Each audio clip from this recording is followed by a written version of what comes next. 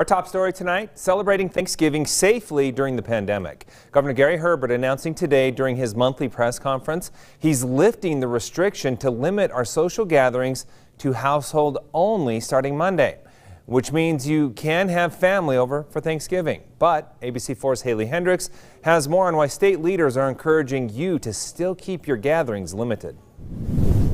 Governor Gary Herbert says he recognizes COVID 19 makes this Thanksgiving unlike any other, but he hopes each of us will help curb the virus's spread this holiday season. From uh, the governor's perspective, from the state of Utah's perspective, we want you to have a happy holiday season, but we want you to have a safe uh, holiday season. With thousands of COVID 19 cases being reported daily, Governor Gary Herbert, along with the Utah Department of Health, encourage you to only get together with those in your own home.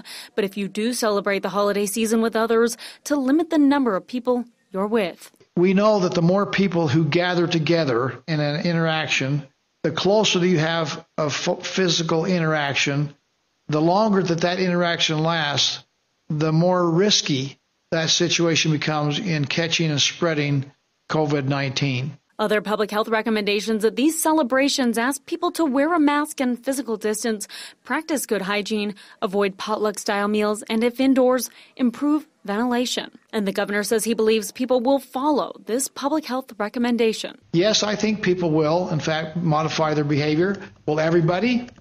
Probably not. Uh, that may be just some of human nature, but I expect enough people will do this that we'll have a better time than if we just disregard these uh, recommendations and good counsel from our medical health care advisors. Now, to learn more about the state's holiday safety tips, you can visit abc4news.com. Reporting in Salt Lake City, Haley Hendricks, ABC4 News.